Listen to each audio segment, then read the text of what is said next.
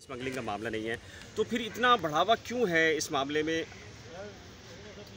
बिस्मिल्लाह रही देखिए बात यह है कि एक बच्ची मिसिंग है और उसका केस रजिस्टर्ड है और नेचुरली इस तरह के केसेस में हमेशा कोर्ट ही फैसला करती है। हमने इस केस को चालान किया हुआ है जो इंटरम चालान अदालत में पेश हो चुका है।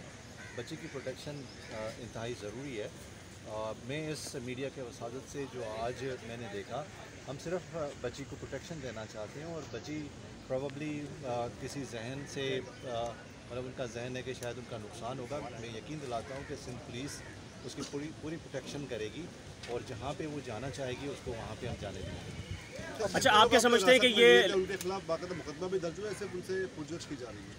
नहीं देखें इसमें जो क्राइम हुआ है केस रजिस्टर्ड है और उस क्राइम को अबेट करने के लिए जो सेक्शन फोर है चाइल्ड रिस्ट्रिक्शन एक्ट उसमें जो भी अबेट करेगा तो वो भी उस पर आएगा। तो उसकी अबेटमेंट में ये बंदे चार्ज सर आपने आईजी पंजाब को आईजी के पी के को और जम्मू कश्मीर को खत लिखा था तो उसमें 17 जो है अक्यूज़ आपने नॉमिनेट किए थे उसके बारे में क्या अपडेट है? देखिए अब तक हमने इस केस में बारह बंदे हमारे पास कस्टडी में हैं और तीन को हमने कस्टडी में लिया था लेकिन उनको हमने मुनासिब नहीं समझा कि फॉर्मल उनकी अरेस्ट करें उनको हमने क्वेश्चन करके छोड़ा।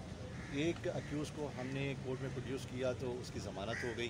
तो अभी हम मज़ीद देख रहे हैं कि इसमें कौन इसको अबेट कर रहा है। होने चलिए ये जो बंदे जो अक्यूज़ हमारे पास अभी कस्टडी में हैं हम उनकी इंटारोगेशन करके हम कोशिश करेंगे कि ये मामला रिजॉल्व करें। यहाँ से कोई क्रू मिला है इन बंदों से सर? इस पर नो कमेंट सर इसमें थोड़ा थोड़ा एक सवाल है। किडनैपिंग देख रहे हैं या लव मैरिज जो आजकल बच्चों में चल रही है वो वाला केस है? देखिए वो उनका बयान मीडिया पे ऑलरेडी आ चुका है। मैं इस पर कमेंट नहीं करना चाहता अच्छा सर कितनी टीमें आपकी वहाँ पे मौजूद हैं इस वक्त? देखें ये एक ऐसी चीज़ है जो हमें ओपन कोर्ट में बतानी पड़ी लेकिन मैं यहाँ पे एक्सक्यूज़ करूँगा कि मैं ना बहुत शुक्रिया थैंक यू